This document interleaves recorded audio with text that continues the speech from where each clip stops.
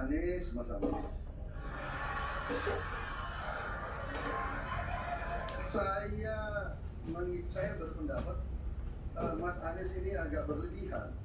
Mas Anies mengeluh tentang demokrasi ini dan itu dan ini. Mas Anies dipilih jadi gubernur DKI menghadapi pemerintah yang berkuasa. Saya yang mengusung Bapak.